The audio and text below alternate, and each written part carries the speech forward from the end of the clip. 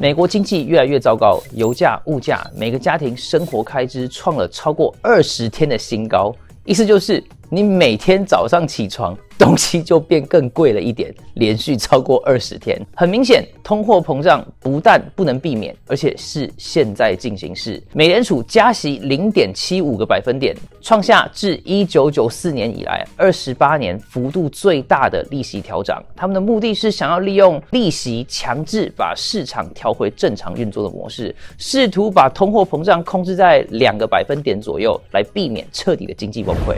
We at the Fed understand the hardship that high inflation is causing. We're strongly committed to bringing inflation back down, and we're moving expeditiously to do so.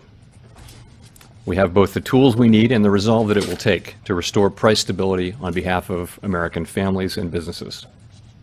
The labor market is extremely tight, and inflation is much too high. Against this backdrop, Today, the Federal Open Market Committee raised its policy interest rate by three quarters of a percentage point. We anticipate that ongoing rate increases will be appropriate. The pace of those changes will continue to depend on the incoming data and the evolving outlook for the economy. Clearly, today's 75 basis point increase is an unusually large one, and I do not expect moves of this size to be common. From the perspective of today, either a 50 basis point or a 75 basis point increase seems most likely at our next meeting. We will, however, make our decisions meeting by meeting and will continue to, to communicate our thinking as clearly as we can. Our overarching focus is using our tools to bring inflation back down to our 2% goal and to keep longer term inflation expectations well anchored. 这上面说的蛮清楚的，就是现在通货膨胀太夸张，供给或是产量太低，市场需求太大，所以要提升利息，在产量提升之前降低整体的需求量，来维持市场平衡。我不想在这边假装自己是什么经济学家，因为很明显我不是，我只是读过亚当史密斯的《国富论》而已。而且老实说，数字本来就不是我的强项，这是一个基本常识。每当政府介入经济的时候，经济就会越变越差，这也是基本常识。欢迎去看我个人的频道 PHC 上面《国富论》第十章，就算没有看过，也可以知道市场基本运作模式，就是当产量高过于需求的时候，商家就会彼此竞争，价钱就会往下掉；当需求高过于产量的时候，买家就必须要彼此竞争，价钱就会往上升。那这个时候呢？你猜我们的前副总统 Brandon 做了什么？他跑去跟美国最大而且跟官商勾结最严重的工会 AFL-CIO 发疯，因为这个样子好像就可以骗到美国人说他现在还可以有能力来解决现在所有的问题。以下是他每次演讲的战术，就是好像在你耳边轻声细语的说悄悄话，然后不知道为什么突然大喊这个样子。The gentleman from Wisconsin, Senator Ron Johnson, is back at it again. Trying to dismantle the Affordable Care Act, including its protections for pre existing conditions. 100 million people have pre existing conditions. The only reason the insurance company has to cover it is because of that law. And they're never going to stop going after it. So now, with the plan of Senator Scott trying to walk back, but it's clear the last thing they want to see is workers with power in this country. 他在他在骂我们吗？很明显，民众权利那个那个那个国家那个，这个就是西方自由国度的领导人。我不敢相信，我竟然会说这种就是中共大外宣嘲讽美国总统的话，而且这就是做错事不认罪悔改的结果。只能一错再错，而且找一堆理由继续错下去，然后再怪别人说为什么别人都不听他的。这是所有集权领导人做的事情。生育率低迷，就是要继续推广同性恋跟变性人。人活着没有目标，变成神经病，拿着枪去学校杀小孩，就是要禁止枪支贩售。油价爆表，民众买不起汽油，就要怪民众为什么不买电车？还有为什么石油公司这么贪心？不管自己的政策还有方向有多么可笑，但是就是要继续下去。你有没有有过老板，然后生意一直赔钱，然后跟员工说，只要大家一起同心协力熬过这一段时间就好。然后熬到最后公司还是倒了，老板却说都是因为员工没有尽心尽力为公司。接下来这一段就是 Brandon 在说，工会是美国的基石，美国不能没有工会，美国一切的成功都是工会造成的，是哈？AFL-CIO 这个工会就是导致美国的汽车制造业。好几次快要倒闭，需要纳税人用税金来援助他们好几次，全部都是工会的错，全部都是工会的问题，导致美国的汽车没有办法跟日本车、德国车在市场上面竞争。因为这些汽车制造商知道说，从一九六零年开始一直到一九九零年，就算他们做一堆没有人要的，然后又贵的破车，国家也会用纳税人的税金来让他们继续维持。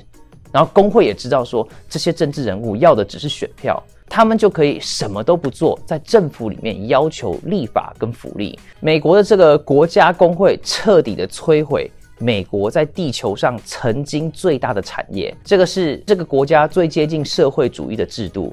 但是 Brandon 在这边说，工会是美国经济不动的磐石。Unions are going to play a critical role in that future. America's always counted on union workers.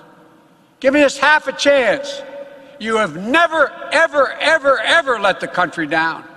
We're counting on you again to build this country for all of us. 是哦，工会好棒棒，从来就没有让美国呃美国人失望过。是哦，不过他去那边干嘛呢？他对着工会讲这些要干嘛呢？因为他要工会去投票嘛，要去拉票嘛，因为他想要继续当总统嘛。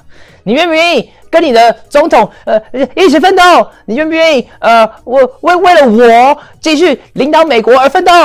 美国的公立工会就是促成官商勾结最大的祸根，他们的工作就是出来跟。选出来的政治人物谈判，来让工会有更多的政府补助。以下是他来说：工会快来帮忙，Brandon 再创美国经济奇迹，三洋 Whisky Hockey 啦！Help build an economy that works for working people, and I promise you, I'm going to keep fighting for you. Are you prepared to fight with me? Well, let's build it together. Let's continue to give working families a fighting chance. Face our challenges head on. And let's keep building a better America because we can do it. God bless you all. Uh, yeah. No, you can't, Joe. 而且你让整个美国变更穷了。OK，这个是呃美整个演说最精彩的地方，是他在说他被很多人批评说他乱花钱，但是没有，他花的钱改变了很多人的人生，对啊，我们都变穷了嘛，好棒哈！我们来看一下他说了些什么东西。Publics like to portray me as some kind of big spender. We have spent a lot of money. But let's compare the facts. Under my predecessor, the deficit exploded.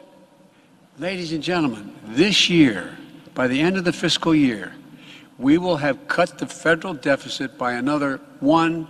$1.6 trillion in one year. One year. So when they come to you and talk about big spenders, let them know. Almost $2 trillion in deficit reduction. I don't want to hear any more of these lies about reckless spending. We're changing people's lives. 他刚刚说 Ladies and gentlemen 了吗？这是个性别歧视啊，对不对？那些第三性呢？变性人呢？花太多钱，我改变你的人生，你现在变得更穷了吧？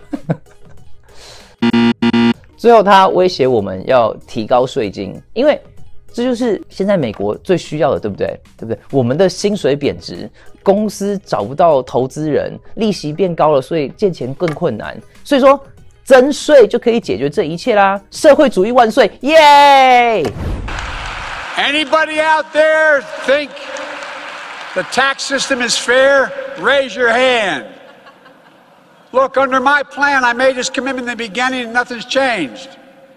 No one making less than $400,000 a year will pay a single solitary penny more in federal taxes. Nobody. but we'll no longer have a situation where 55 of the largest Fortune 500 companies made $40 billion last, each year, last two years, and paid zero, zero, zero in federal income tax on that profit. 40 billion. 我们现在正在经过前所未有的通货膨胀，它解决的方式就是增加工会的权利，增加赋税， 等于是说，他所有的政策都只会让通货膨胀更恶化。但是没有关系，他不在乎你的钱包，他不在乎你的生活，他在乎的是选票，是权利。这不是在说他是一个坏人，他只是跟所有的人一样。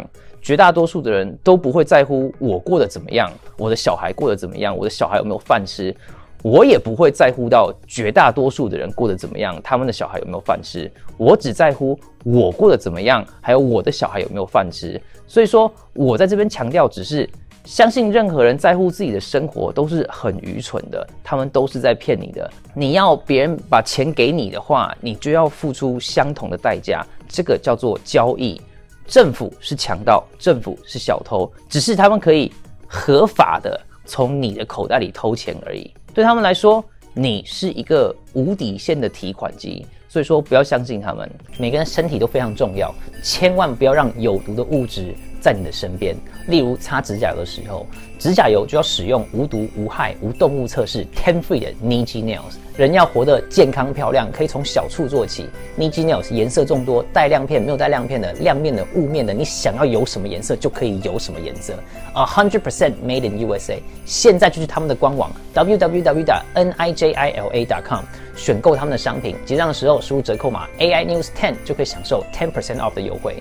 Niji Nails 的指甲很安全，连小孩都可以使用哦。